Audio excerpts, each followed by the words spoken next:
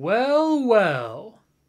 Look who's inside again. What's up, strugglers? Here's one that cannot possibly be jacked. This is a tale of anticipation and glee, followed by disappointment and embarrassment. It's the story of one of the times I was on Jimmy Fallon. It's the story of the time I was a local celebrity.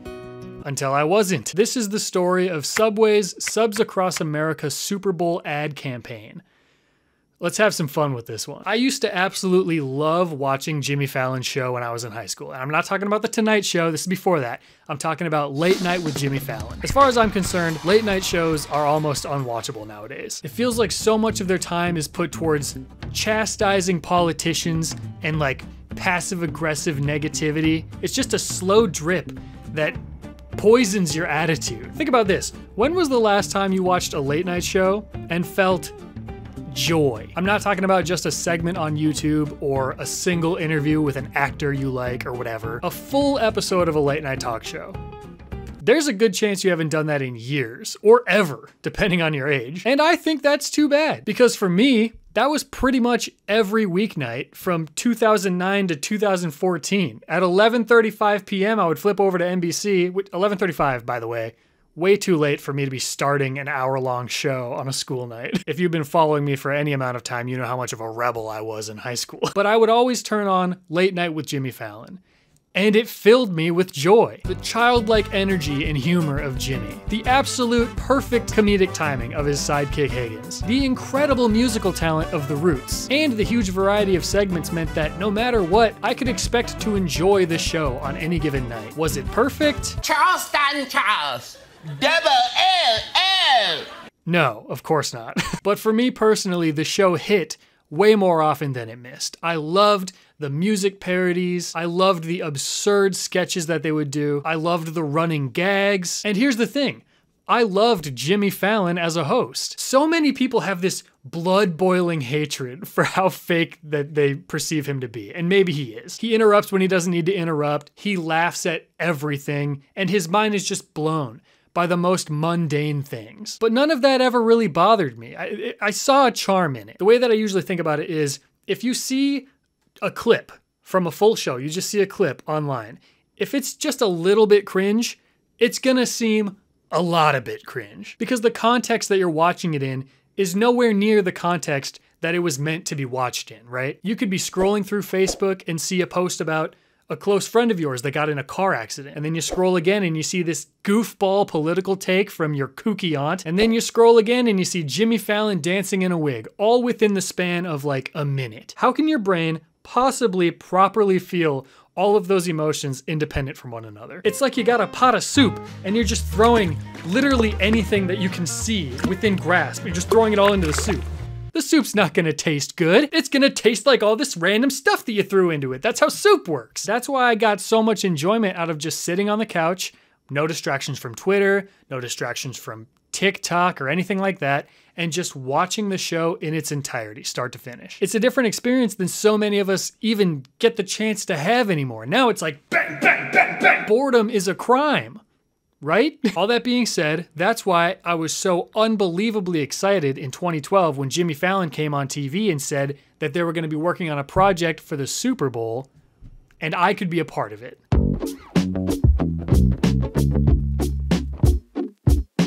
So in January of that year, Jimmy announced that Late Night was going to be teaming up with Subway to make a commercial for the Super Bowl. What they wanted to do was get one person from each of the 50 states standing in front of some kind of landmark to identify the state that you're in, and then you would catch a Subway sandwich, a foot long, from the left side of the screen, and you'd throw it off to the right side of the screen. Then they would edit it all together and make it look like we passed a sandwich all across the country. Kind of a fun idea, right? Well, after hearing that, being the timid loser that I am, I kept thinking, there's no reason to send in a video. Probably a hundred other people from North Dakota have also been watching this show and they've already sent one in and they're definitely better than whatever I could come up with, so I didn't bother. And then a few days later on the show, they brought up a map of the states that hadn't submitted a video yet. Guess what? North Dakota hadn't submitted a video yet. So now I'm feeling like an absolute idiot. If I would have just sent one in, I would have been on the show.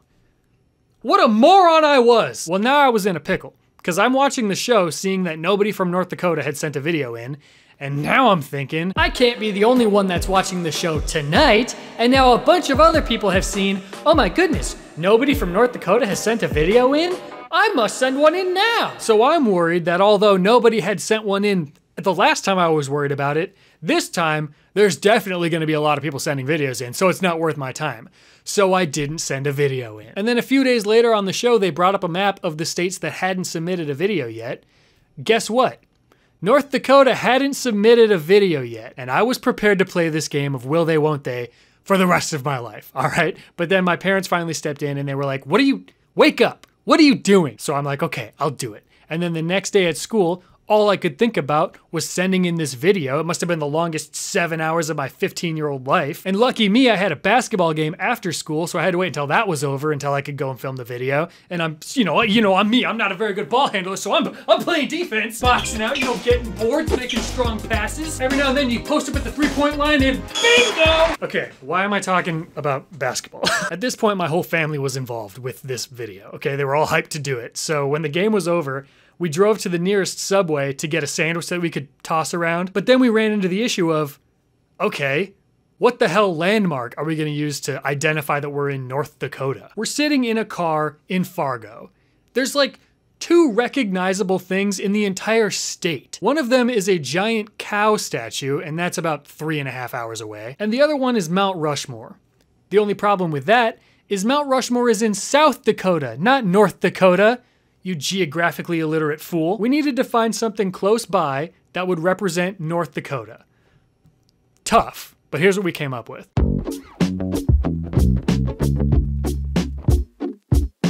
First, we went to the Fargo Dome, which is where the North Dakota State Bison play football. It's pretty North Dakotan, right? Phil Hansen, Carson Wentz, Joe Mays, absolute legends. Okay, do it again. Okay. We also went to the Fargo Theater, mainly just because it has pretty lights that light up at night. Okay, Dad. throw it in the street.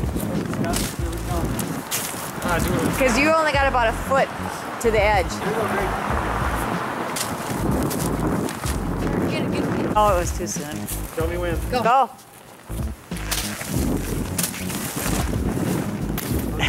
we stopped at this place called Nodak, which sells like appliances, I guess. I don't really know what they sell, but they had this light up sign out front and it showed the temperature and it was just insanely cold that night. And I thought, you know, that's kind of a good representation of our lovely state. Negative 20 in the winter, 100 plus degrees in the summer. You filming? Okay, here we go. Coming, Greg. Coming at you. It was there the whole time, pretty much. It is worth noting, this is no longer a Nodak. It's a it's a place called Carl's. So um, I guess RIP Nodak. So at this point we thought, you know, that's probably as good as we can do. It's pitch black out. We can't really find anything else around here that can represent North Dakota other than like a wheat field, and it's the middle of winter, so that's not gonna happen. Maybe we could go to the wood chipper from the movie Fargo, but it was 10 o'clock at night, it was dark out, and all we had was this freaking Sony Handycam, so it's not like you were gonna be able to see it in the dark anyway, so we figured we'll, we'll pass on that. Also, that movie doesn't even take place in North Dakota. It's based in Minnesota you geographically illiterate fool. Where else could we even go? Bonanzaville, USA! No, not again. so we decided to just call it a night and drive home, hoping we had enough footage. But on the way back, my dad had another idea. There are these billboards that are spread out all across the state that say, North Dakota, the rush hour commute. And then it's just a picture of a wide open road. Uh, pretty charming, not really advertising anything, just kind of showing how, you know, quiet of a life, how privileged of a life we tend to live here. Um, at least that's what it used to say. Uh, I don't know when they changed it to this. I just saw the billboard. It's like it's like literally within the last like couple of weeks they must have come through and changed this because that billboard had been here for 10 years and then of course when I need to film a video they switch it to something else. anyway, we shot a video there, packed up, and then finally just went home. You're gonna have to do it again. Okay, I started it. Start a good spot?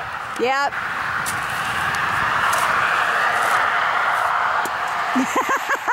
Hearing a thump on the ground was funny. we figured that one was a long shot anyway because it's just a billboard. But the more submissions we made, the more likely we were to be on the show. That, that was our thought process, at least. So I got home, uploaded all the clips to the late night website, and then I waited in absolute agony for two whole weeks.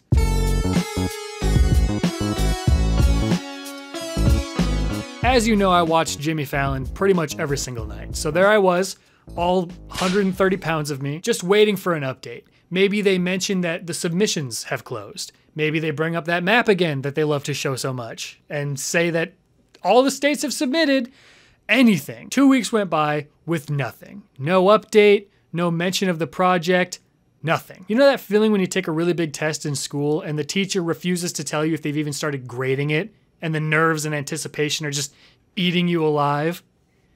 No, you didn't have irrational anxiety about grades and you realize that that really doesn't matter in the grand scheme of things. Good for you, nerd. I was about ready to explode waiting for news on this subway project. And then, on a Tuesday night, just as they were about to play him off, Jimmy Fallon said that they would be premiering the final product of Subs Across America the following night.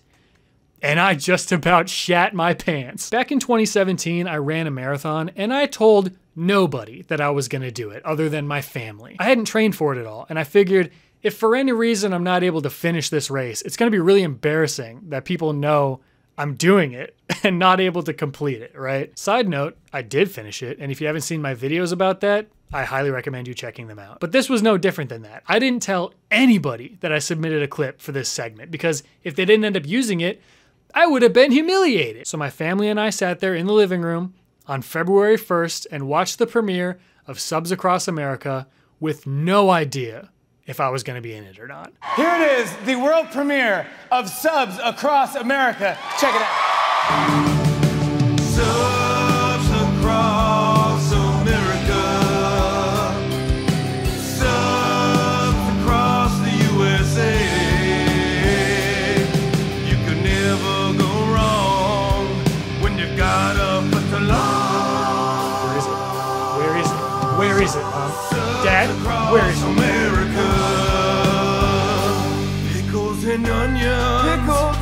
They're never gonna show up. They're not gonna. They're not using. it. Why would they use it? They would never use my clip. American cheese. Love that cheese. And American pride. American pride. I feel like such a idiot. I feel like so stupid. All types of stuff.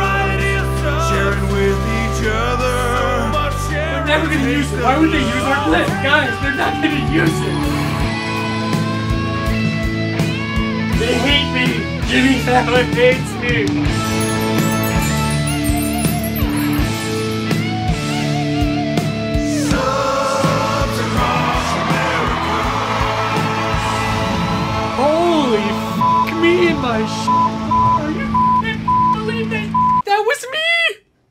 And my brother Greg, but more importantly, that was me! And they used the freaking billboard shot of all of the clips. I don't care. I was on Late Night with Jimmy Fallon on national TV, and I'm gonna be on a Super Bowl ad. This night couldn't get any better.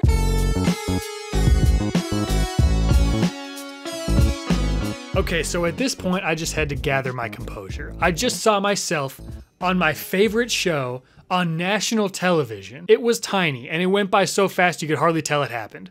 That's what she said. But I was there. Obviously, I'm a celebrity now, right? NBC's gonna invite me to come to the Olympics and do some commentary over the over the track and field events or something. Now that it wasn't a question if I was gonna be in the segment or not, I felt comfortable bragging to literally everybody I knew. I walk into school the next day like I've got the most comically large Johnson you've ever seen in your life. Confidence on 11. No big deal. I was on Jimmy Fallon last night. Gonna be on during the Super Bowl too. Everyone's losing their marbles like, oh shit! Scotty hit the big time. I'm friends with the celebrity. The news spread to the teachers and then to the principal who sent out a mass email with the link to the video to everybody in school and then said, hey, watch out, the Cramer kids are gonna be on during the big game. It was honestly exhilarating. And then the Super Bowl happened. It's a phenomenal matchup. Patriots versus the Giants, the greatest of all time versus Tom Brady. Aaron Hernandez absolutely killing out there. Manning to Manningham, one of the clutchest plays of the entire season. Bengal, where are you at, my guy? Let's go! Um, the game is kind of winding down now, though. Haven't seen my commercial yet. Come to think of it, I haven't even heard a mention of Subway all day. Justin Tuck, a big $5 foot long bow. Okay, here we go. It must be coming up soon. And the New York Giants are the Super Bowl champs.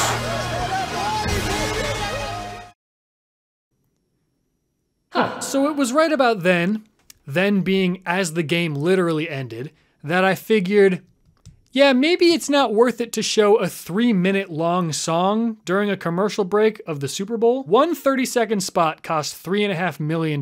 So that would have added up to 21 million to show Jimmy Fallon singing about sandwiches. Thinking back, I don't actually remember them ever saying that the song was gonna play during the Super Bowl. I think that was just an assumption I had because it was like a Super Bowl project. So, oops, I guess. And as if that wasn't disappointing enough, I had to go to school the next day and explain to literally everybody, thank you, Mr. Principal, why I wasn't in a Super Bowl commercial like I said I was going to be. My 15 seconds of fame were long over, okay? I flew too close to the sun. But that's not even the worst of it.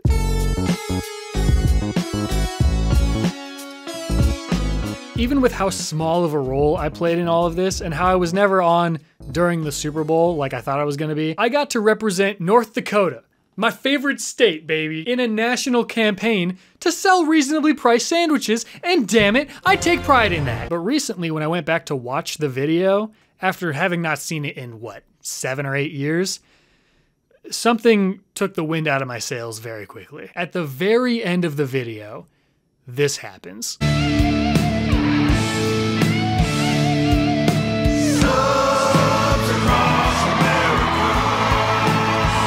Son of a bitch. If you're unfamiliar, this is Jared Fogle, better known as Jared from Subway, or as I like to call him, the literal embodiment of evil. Go ahead and Google his name if you haven't heard, but the tame version of it is he's in prison now for stuff involving kids. How the f am I supposed to be proud of being in Subs Across America now? I can't send this video to people anymore. I can't brag about being in this this this this monstrosity. Yeah, it's all fun and games until the beady-eyed demon shows up and all of a sudden this aged like milk. no, no, no.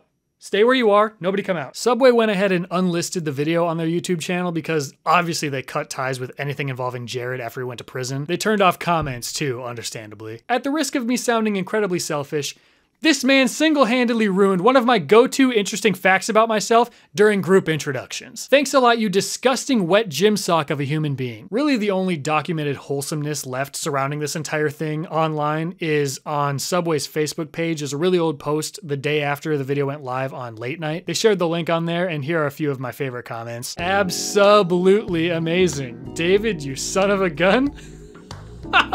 I love most Subway. Oma is extremely honest. I appreciate the honesty. 500 points on my Subway reward card today.